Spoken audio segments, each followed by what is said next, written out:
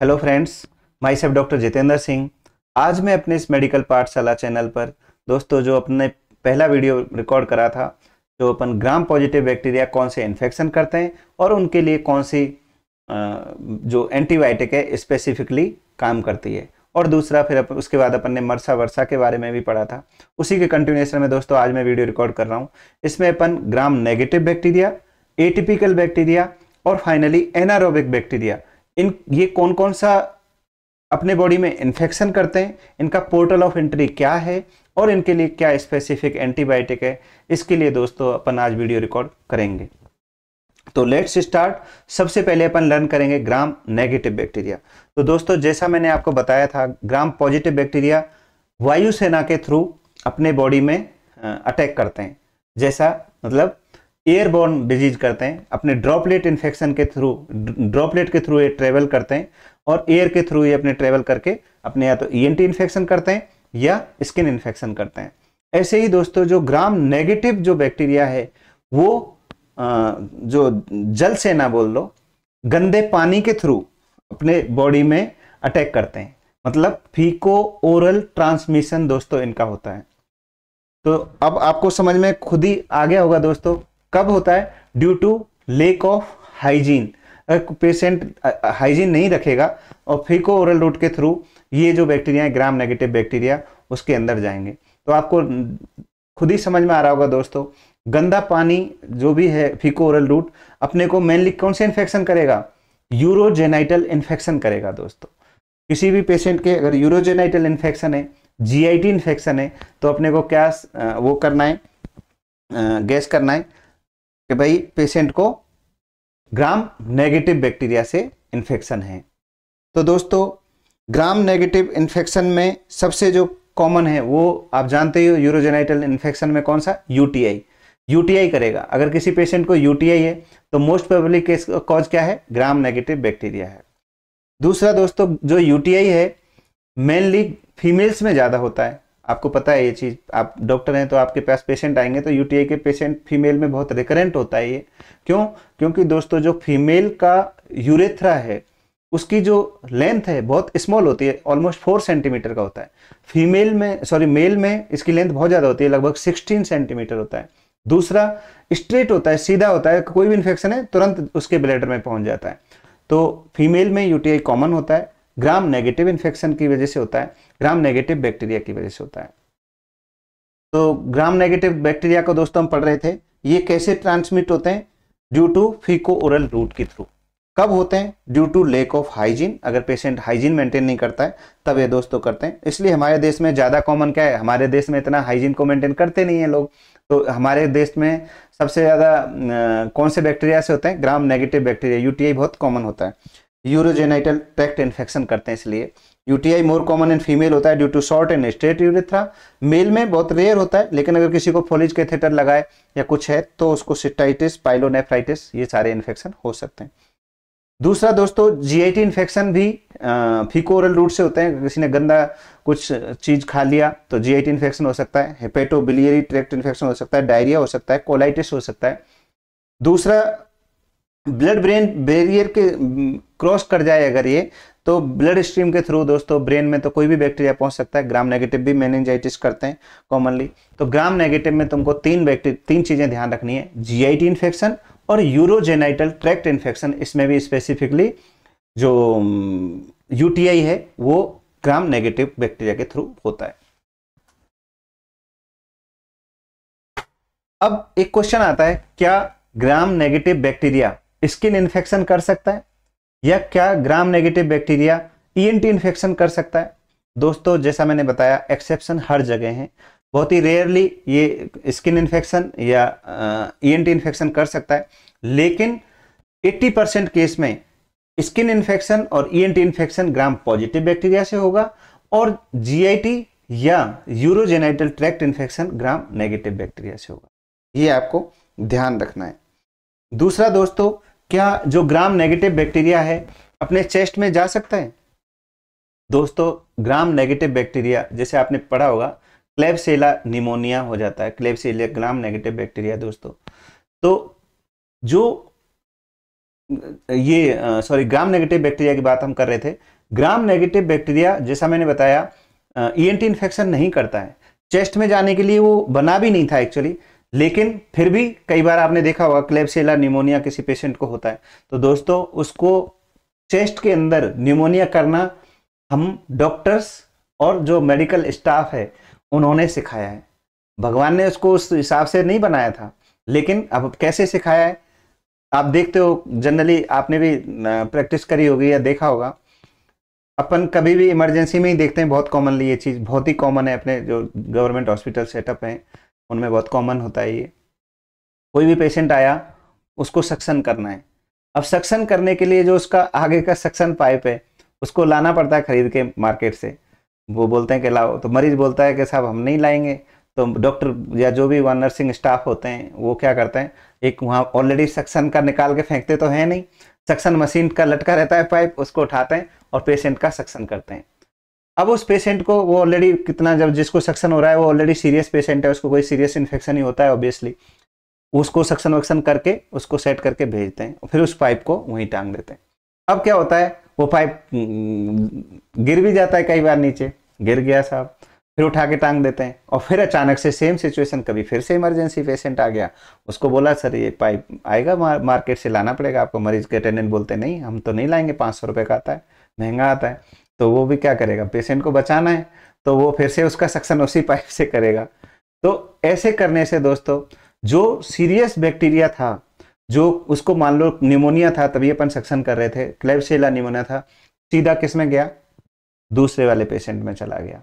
इतना serious infection होता है, उसको बचाना पेशेंट को बहुत ही मुश्किल हो जाता है डॉक्टर्स के लिए भी, और ज़्यादातर दवाइयाँ भी उस पर रजिस्टेंट होती हैं दोस्तों। तो इस तरह के इन्फेक्शन हम खुद उसको क्रिएट कर रहे हैं। हम थोड़ी सी उसकी वजह से अब वो सेटअप या जो भी हमारे है, उस हिसाब से मैं ज़्यादा इस मैटर में नहीं बोल सकता। बट ऐसा होता है, ये मैं बोल सकता हूँ।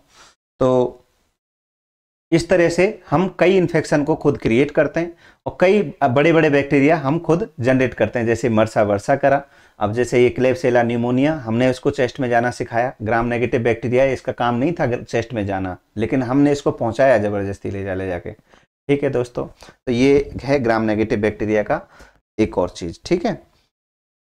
उसके बाद, अब फिर वही बात जो जैसा कि अपन ने पढ़ा था कि ग्राम नेगेटिव बैक्टीरिया अपन को समझ में आ गया साहब, फिर कोरल रूट से इसका ट्रांसमिशन होता है, और ये कौन कौन से इन्फेक्शन करता है?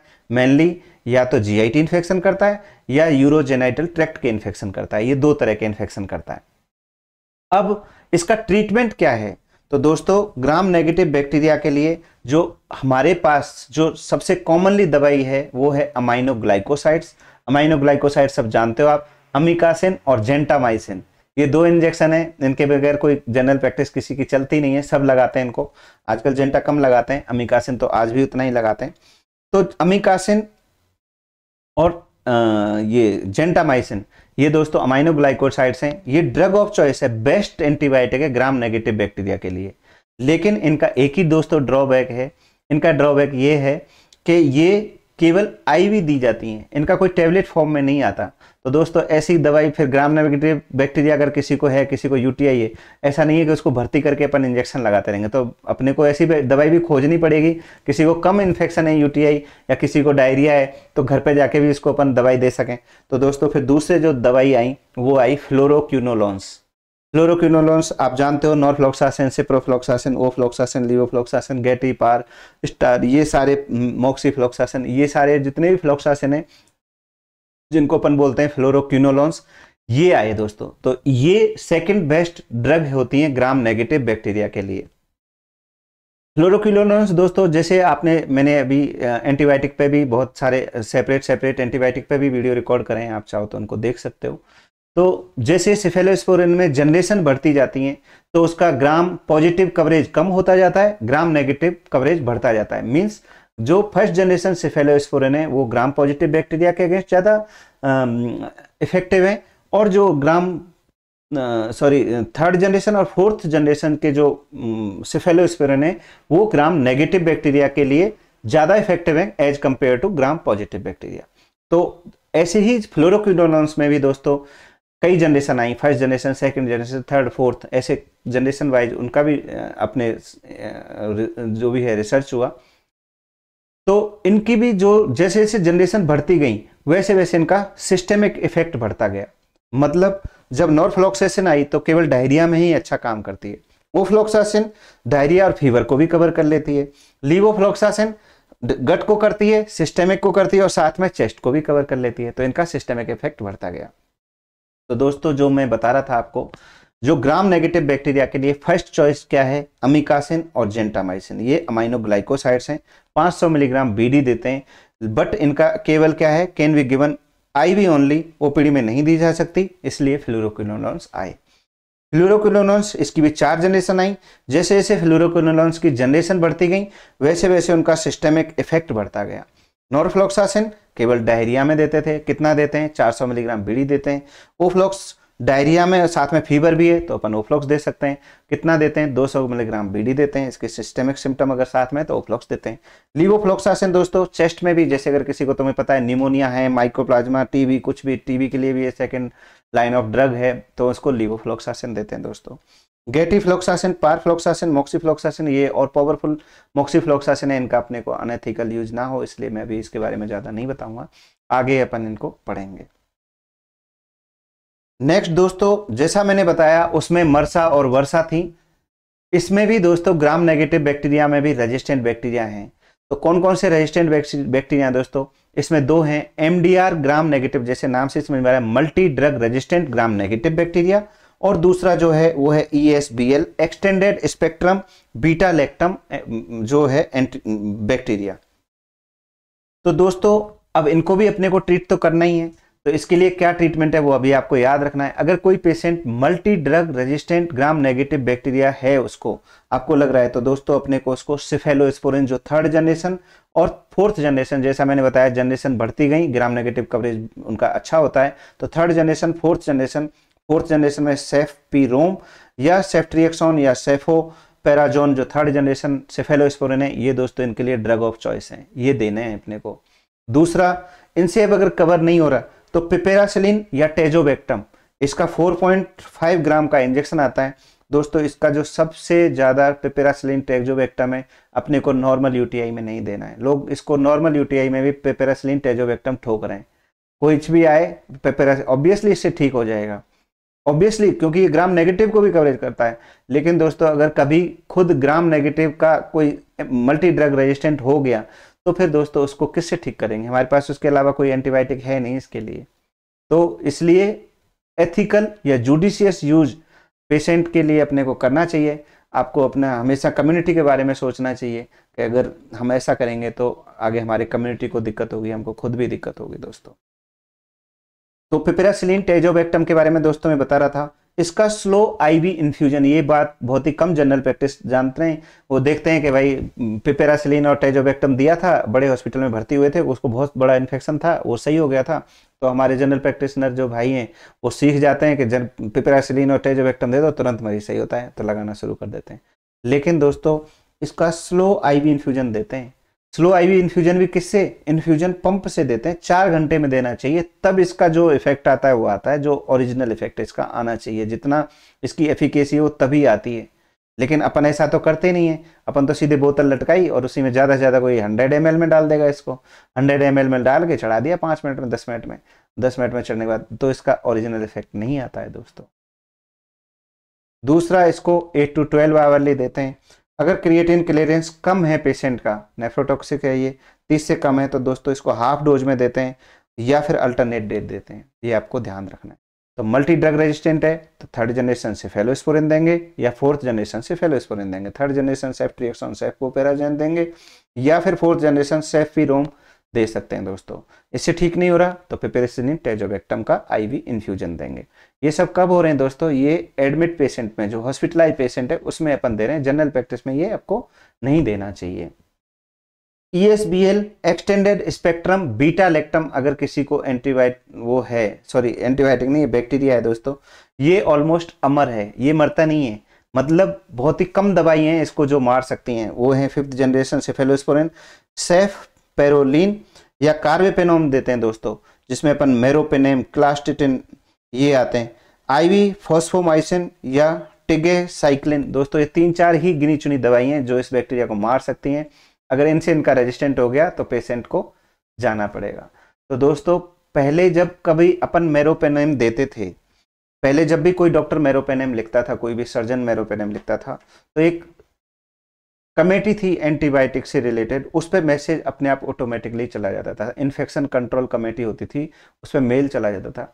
वहाँ से फिर मेल से जो जाता था तो वहाँ से वो बंदे आते थे, उस डॉक्टर का वाइवा होता था। पूछते थे कि तुमको ये इन्फेक्शन कैसे लगा? तुमने क्या कल्चर करा? वो के कल्चर नहीं करा तो तुमको कैसे लगा कि इसको मीरोपेनेम देना है? लेकिन दोस्तों, आज की स्थिति अलग है। आज क्या होता है? मेडिकल वाले को ही बोल दो, वो ही दे देगा आपको मेरे पेनेम जनरली एम आर आते हैं डॉक्टरों के पास, वो बता के चलाया था, सब फेरोपेनेम से बहुत अच्छा है यूटीआई में रिज़ल्ट मिलता है। वो डॉक्टर लिखना स्टार्ट करते तुरंत उससे रिज़ल्ट भी आता है। मेडिकल एम आर बता गया डॉक्टर साहब ने उसका ज़्यादा लिटरेचर पढ़ा नहीं। ईजिली अवेलेबल हो जाता है, कोई भी मेडिकल स्टोर वाला दे देता है। मेडिकल स्टोर वाला दे देता है डॉक्टर कंपनी वाला बता गया, और तो फिर दिक्कत ही क्या अच्छा काम करेगा, उसने बता दिया। बट ऐसा दोस्तों नहीं करना चाहिए। ये गलत प्रैक्टिस है। जो हायर एंटीबायोटिक हैं, वो हॉस्पिटल सेटअप में ही यूज़ होने चाहिए। अपने को हमेशा बेसिक एंटीबायोटिक, जो ओपीडी पेशेंट हैं, जो नॉर्मल रूटीन, कफ खांसी के पेशेंट हैं या नॉर्मल यूटीआई के डायरिया के पेशेंट हैं, उनमें ये अपने को पेपेरासिलिन वगैरह, टेजोवेक्टम वगैरह यूज़ नहीं करना चाहिए। उससे पेशेंट को फ़ायदा इतना नहीं होता, जितना अपने कम्युनिटी को लॉस होता है। जनरली अपने प्रैक्टिस में क्या होता है? अपने जनरल प्रैक्टिस में ये होता है कि भाई पड़ोसी की तो एक दिन में सही हो जाते हैं। हमारे मरीज़ तो चार दिन दवाई खाने के बाद सही नहीं होते। तो पड़ोसी कर क्या रहा है? एक डाइना पायर लगा रहा है, एक डेक्सोना लगा रहा है, चुपचाप धीरे से एक मेरोपेनेम भी आई भी दे दे रहा है। तो मेरोपेनेम देगा तो ऑब्वियसली पेशेंट को कुछ भी होगा, सही होगा। लेकिन क्या वो कम्युनिटी के लिए सही है?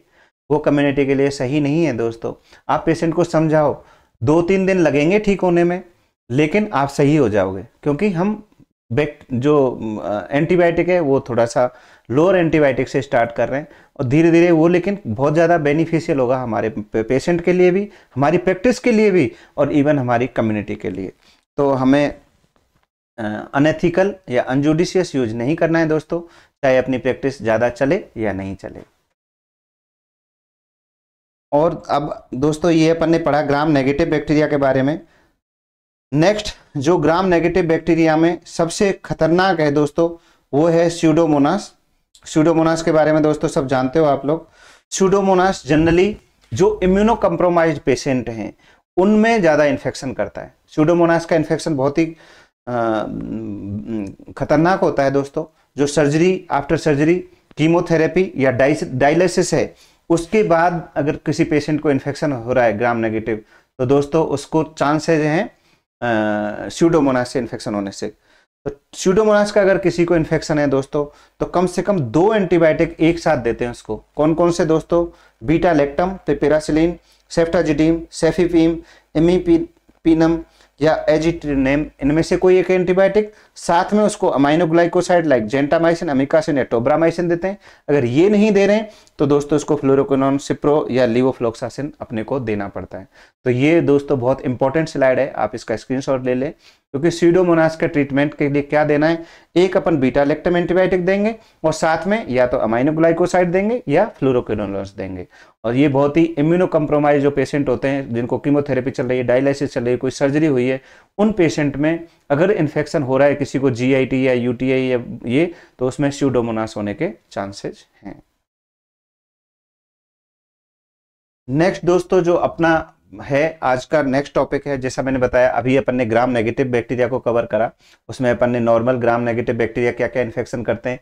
जेनाइटो यूरिनरी ट्रैक्ट इन्फेक्शन करते हैं जीआईटी इन्फेक्शन करते हैं और ब्रेन में भी इन्फेक्शन मैनेजाइटिस वगैरह कॉमनली करते हैं। उसमें फिर उसके बाद अपन ने एमडीआर पढ़ा ई e पढ़ा और स्यूडोमोनास पढ़ा। सारा का कैसे इन्फेक्शन है, क्या पोर्टल ऑफ़ एंट्री है और उसके बाद वो क्या इन्फेक्शन करते हैं, ये अपन ने पढ़ लिया। तो दोस्तों, अब नेक्स्ट जो अपना है, वो है एटिपिकल बैक्टीरिया जैसा मैंने बताया, ये एनोमलस हैं। ये बैक्टीरिया के परिवार से तो हैं, बट ये ना तो बैक्टीरिया जैसे दिखते हैं, ना ही बैक्टीरिया जैसी हरकत करते हैं। बट ये इन्फेक्शन करते हैं दोस्तों। दूसरा चीज़ जो अपने को एक वर्ड याद रखना है, जो आज की इस एटिपिकल बैक्टीरिया की क्लास के बाद जो आपको जीवन भर याद रखना है, कि जो एटिपिकल बैक्टीरिया हैं, वो ग्राम पॉजिटिव बैक्टीरिया जैसे इन्फेक्शन करते हैं। उनका भी वही पोर्टल ऑफ़ एंट्री है जो ग्राम पॉजिटिव बैक्टीरिया का है। इतना सा दोस्तों आपको याद रखना है। ये आप जानते हो ग्राम पॉजिटिव कौन से इन्फेक्शन करते हैं? या तो ईएनटी e इन्फेक्शन करते हैं या स्किन इन्फेक्शन करते हैं। तो ये जो एटिपिकल बैक्टीरिया हैं एटिपिकल कौन कौन से? माइकोप्लाज्मा क्लेमाइडिया रिकेट्सिया लिजियोनेला ये सारे स्किन या ईएनटी e इन्फेक्शन करते हैं दोस्तों। ये बस इतना सा आपको याद रखना है। तो एटिपिकल बैक्टीरिया क्या है? एनोमलस है। बैक्टीरिया के परिवार से तो हैं बट ये ना तो बैक्टीरिया जैसे दिखते हैं, ना ही बैक्टीरिया जैसी हरकत करते हैं। बट ये इन्फेक्शन करते हैं। लाइक कौन कौन से ये टिपिकल बैक्टीरिया होते हैं? Mycoplasma chlamydia rickettsia legionella ये बैक्टीरिया बिल्कुल ग्राम पॉजिटिव की तरह इन्फेक्शन करते हैं। मतलब इनका पोर्टल एंट्री सेम है जो ग्राम पॉजिटिव का है, जो आप जानते हो। या तो स्किन या ईएनटी e चेस्ट या ब्रेन इन्फेक्शन ये कर सकते हैं। दोस्तों, इनका ट्रीटमेंट की अगर अपन बात करें तो इनके ग्राम पॉजिटिव जो बैक्टीरिया सॉरी एटिपिकल जो बैक्टीरिया हैं इनके लिए दो ही एंटीबायोटिक हैं दोस्तों। एक तो मैक्रो मैक्रोलाइट्स मैक्रोलाइड आप जानते हो एजिथ्रोमाइसिन क्लेरिथ्रोमाइसिन इरिथ्रोमाइसिन ये सारे क्या हैं? मैक्रोलाइड तो drug of choice atypical bacteria के लिए क्या है? मैक्रोलाइड है। और दूसरा टेट्रासाइक्लिन तो जितने भी डॉक्सीसाइक्लिन या टिगेसाइक्लिन ये आ, है आ, मतलब नेक्स्ट एंटीबायोटिक अगर देना है तो ये दे सकते हैं। ये टिपिकल बैक्टीरिया के लिए दो ही एंटीबायोटिक होते हैं। एक तो मैक्रोलाइड जिसमें एजी क्लेथ्रो या टोब्रामाइसिन एजिथ्रोमाइसिन कितना देते हैं, सब जानते हो। 500 मिलीग्राम की ओडी डोज होती है थ्री डेज़ देते हैं ओनली क्यों? क्योंकि इसकी टी हाफ़ लॉन्ग होता है। ये जाके जो अपने लंग्स के मैक्रोफेज हैं, उनके डब्ल्यूबीसी उनमें जाके इकट्ठी हो जाती है और सात दिन तक काम करती है। तो पाँच दिन की तीन दिन अपन डोज देते हैं और ये सात दिन तक उसके अलावा भी काम करती रहती है। दूसरा दोस्तों अगर मैक्रोलाइट से ठीक नहीं हो रहा तो टेट्रासाइक्लिन देते हैं दोस्तों। बट टेट्रासाइक्लिन में कौन सी? डॉक्सीसाइक्लिन देते हैं हंड्रेड मिलीग्राम बीड़ी देते हैं। कभी भी कोई भी ड्रग ऑफ़ चॉइस है फीवर विद रेस या कोई भी एटिपिकल जिसका आपको पता नहीं चल रहा है, इसमें कौन सा बैक्टीरिया हो सकता है तो दोस्तों अपन डॉक्सीसाइक्लिन देते हैं या एजिथ्रोमाइसिन देते हैं। जैसे अगर किसी पेशेंट को, जैसा मैंने अभी बताया, एक ग्राम पॉजिटिव और ग्राम सॉरी एटिपिकल बैक्टीरिया का पोर्टल ऑफ़ एंट्री सेम है। अगर कोई पेशेंट को फेरेंजाइटिस है या किसी को और थोड़ा सा निमोनाइटिस है, ठीक नहीं हो रहा। तो दोस्तों, आप कॉम्बिनेशन में ऐसी दब, ऐसी एंटीबायोटिक दो, जो दोनों पे वर्क करे। तो आप उसको अमोक्सलेव के साथ अगर एजिथ्रो दे देंगे तो उसका बहुत अच्छा रिज़ल्ट आएगा। मतलब ऑलमोस्ट पेशेंट ठीक हो जाएगा। तो अपने को पेपेरासिलिन टेजोवेक्टम ठोक रहे हैं बिना मतलब के, उससे इतना फ़ायदा नहीं आएगा जितना एक सिंपल अमोक्सलेव या एक एजिथ्रो खा के आ जाएगा। क्योंकि जितने भी अपने एटिपिकल बैक्टीरिया उनको एजिथ्रो कवर कर लेगा, और जितने भी ग्राम पॉजिटिव बैक्टीरिया उनको अमोक्सलेव कवर कर लेगा। या फिर अपन नॉर्मली देखा है, जब भी कोई भी पेशेंट आता है एटिपिकल टाइप का उसको लग रहा है कि हमें पता नहीं इसको रेसेज हो रहे हैं या कुछ भी हो रहा है, जितने भी एटिपिकल तो उसमें डॉक्सीसाइक्लिन ड्रग ऑफ़ चॉइस होती है दोस्तों। क्यों? क्योंकि एटिपिकल बैक्टीरिया में टेट्रासाइक्लिन ड्रग ऑफ़ चॉइस है। तो ये अपने को इस तरह से ध्यान रखना है। अब दोस्तों जो नेक्स्ट और लास्ट जो टॉपिक है आज का हमारा एनारोबिक बैक्टीरिया तो दोस्तों, एनारोबिक बैक्टीरिया के बारे में मैंने पहले बताया था, जैसा ये घर का भेदी लंका ढाए।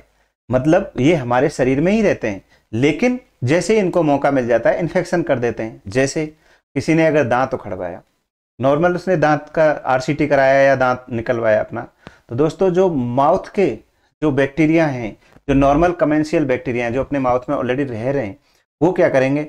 अचानक से इन्फेक्शन कर देंगे, क्योंकि हाइजीन मेंटेन नहीं हुआ थोड़ा सा, तुरंत इन्फेक्शन कर दिया। रह मुँह में ही रहे थे, पहले भी थे, लेकिन अब उनको मौका मिल गया इम्यूनिटी कम है और थोड़ा इन्फेक्शन की जगह मिल गई तो उनको तुरंत इन्फेक्शन कर दिया डेंटल इन्फेक्शन कर दिया गम्स फूल गया। तो ये कौन से हैं? एनारोबिक बैक्टीरिया दूसरा गट फ्लोरा में हमारे, जानते हो नॉर्मल कमेंशियल बैक्टीरिया रहते हैं, बहुत सारे बैक्टीरिया रहते हैं। अगर हमारी गट ठीक है, उनके कॉन्ट्रैक्शन हो रहे हैं, बढ़िया इंटेस्टाइन चल रही है तो कोई दिक्कत नहीं है। लेकिन अगर पेशेंट को इंटेस्टाइनल ऑब्स्ट्रक्शन हो जाए तो ये जो नॉर्मल गट फ्लोरा है, ये एकदम से गट को पूरा इन्फ्लेम कर देते हैं पेरिटोनाइटिस कर देते हैं, पूरा सारा इन्फेक्शन कर देते हैं। तो ये क्या है? एनारोबिक बैक्टीरिया तीसरा, जो क्लोस्ट्रीडियम डिफिसेल या बोटुलिनम मिट्टी में रहता है प्रोविटेला है, बहुत सारे ऐसे अदर इन्फेक्शन है जो आपने नाम भी नहीं सुने, ये सारे एनारोबिक बैक्टीरिया हैं।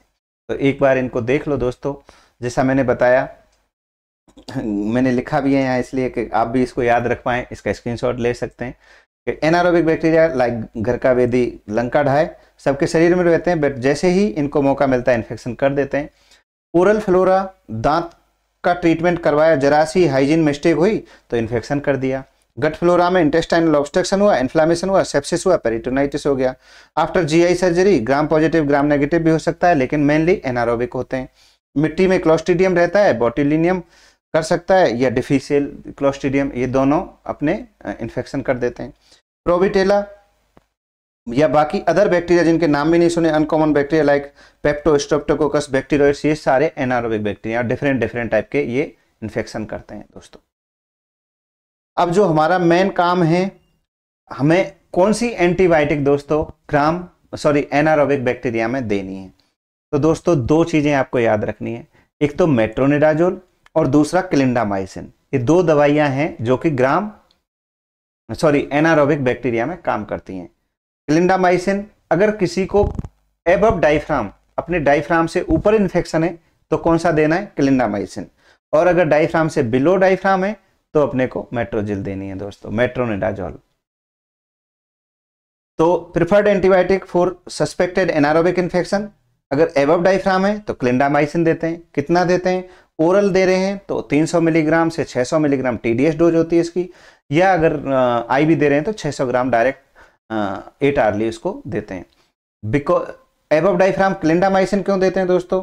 बिकॉज़ जो मेट्रोनिडाजोल है, वो एक्टिनोमाइसिस या माइक्रो एरोफिलिक जो स्ट्रेप्टोकोकाई है, उनके अगेंस्ट वर्क नहीं करती है। बीटा लेक्टमेज के साथ भी दोस्तों इसको कंबाइन करके दे सकते हैं like piperacillin tazobactam carbapenem meropenem, moxifloxacin, जो है इसकी सेकेंड लाइन ड्रग है, ये अपने को दे सकते हैं। क्लिंडामाइसिन कैसे वर्क करती है? ये अपने 50 एस राइबोसोम की जो सब यूनिट है दोस्तों, उसको इनिविट करती है और फाइनली प्रोटीन सिंथेसिस को इनिविट कर देती है। हमारे अगर किसी के ह्यूमन वाइट का वुंड है, किसी को किसी इंसान ने काट लिया, उसके बाद उसको अगर इन्फ्लेम हो रहा है तो दोस्तों क्लिंडामाइसिन ड्रग ऑफ़ चॉइस है, ये आपको याद रखना है। तो पहला एबव डाइफ्राम है तो क्लिंडामाइसिन देंगे। लेकिन दोस्तों, अगर बिलो डाइफ्राम है तो कौन सी दवाई देंगे? मेट्रोजिल देंगे। मेट्रोजिल का डोज सब जानते हैं। 400 मिलीग्राम टीडीएस ओरल आईवी दोनों दे सकते हैं। पोस्ट एब्डोमिनल सर्जरी एक मेट्रोजिल ज़रूर देते हैं, क्योंकि जैसा मैंने अभी बताया कि एब्डोमिनल बिलो डाइफ्राम है तो मेट्रोजिल देना है। एनारोबिक इन्फेक्शन के चांस को कम कर देगा। क्यों देते हैं? बिकॉज़ जो क्लिंडामाइसिन है वो जो बैक्टीरियोइड्स इन्फेक्शन है, उनको नहीं मारती है। तो जो अगर कोई ब्लो डाइफ्राम बैक्टीरियोइड्स से ज़्यादा इन्फेक्शन होने के चांस हैं तो वो नहीं देते हैं। आपको बस इतना सिंपली याद रखना है एबव डाइफ्राम इन्फेक्शन है क्लिंडामाइसिन और अगर मेट नीचे है बिलो डाइफ्राम है तो मेट्रोजिल देनी है। Metrogyl clindamycin covers M R S and also have antitoxin effect clostridium को भी ये मार देती है। तो ये बहुत इंपॉर्टेंट दवाई है दोस्तों, इसलिए इनको अपन यूज़ कर सकते हैं। तो दोस्तों, आज का जो हमारा लेक्चर था, उसका जो पर्पज था, ये था कि भाई जो हम एंटीबायोटिक्स हैं, उनका जुडिशियस यूज़ करें। जुडिशियस यूज़ अगर नहीं करेंगे दोस्तों तो हमारे, आप उल्टा सोचिए, कोई अगर मान लो कोई पेशेंट है, और जो ऑलरेडी रेजिस्टेंट बैक्टीरिया का इन्फेक्शन लेके आपके पास आया है, और गलती से वो इन्फेक्शन आपके थ्रू आपके बच्चे को हो जाता है तो वो आपको कैसा लगेगा? आप एक छोटी सी बीमारी जो उसको होगी, कफ खांसी होगा, जो कि बैक्टीरिया से रेजिस्टेंट है क्लेबसेला मान लो उसको हो गया तो आप उसको सीधा हॉस्पिटल करके आईसीयू में एडमिट करना पड़ेगा। तो दोस्तों, हम लोग भी खुद कभी जीवन में बाद में बुढ़े होंगे तो हमें भी इन्फेक्शन होंगे। तो दोस्तों, ये सब सोच के अपने को जुडिशियस यूज़ करना चाहिए एंटीबायोटिक का। ऐसे नहीं कि पेशेंट सीधा आया, आपके पास सीधा पे पेरासिलिन या मेरोपेनेम लगा दो पेशेंट सेम डे सही हो जाएगा। दोस्तों, वो सेम डे सही हो जाएगा, हो सकता है सही हो जाए। लेकिन हमारी कम्युनिटी को हम कितना हार्म पहुँचा रहे हैं हमेशा इस चीज़ पे अपने को फोकस रखना चाहिए कि हमें कोई भी ऐसा वर्क नहीं करना चाहिए जो कि हमारी पूरी कम्युनिटी को आ, मतलब हार्मफुल हो। आ, आपको पेशेंट को थोड़ा पेशेंट को भी थोड़ा समझाना चाहिए। उसको भी अवेयर करना चाहिए कि ज़्यादा अनजुडिशियस या हैवी एंटीबायोटिक नहीं लेना चाहिए। इससे आपको रेजिस्टेंट हो सकता है, फिर आप कभी किसी दूसरे एंटीबायोटिक से ठीक नहीं होंगे। इस तरह से आप पेशेंट को भी एजुकेट करना चाहिए। थैंक यू दोस्तों। तो ये दो जो लेक्चर थे, आपको कैसे लगे दोस्तों? आप मेरे को कमेंट बॉक्स में मैसेज लिख के बताएँ। आप लोग कमेंट लिखते हो तो मेरा जो है मोटिवेशन होता है उससे। और उसी से अच्छा लगता है कि भाई और अपन अच्छे वीडियो बना पाएँ। बाकी हो सकता है कुछ मैं इस वीडियो में गलत भी बोल दिया हूँ। कई बार अपन बोलते कुछ हैं दिमाग में कुछ होता है मुँह से कुछ हो जाता है निकल जाता है। आ, तो दोस्तों उसके लिए आ, आप लोग मेरे को वो करना भाई के आगे मैं और ध्यान रखूँगा और अच्छे वीडियो बनाऊँगा। Thank you.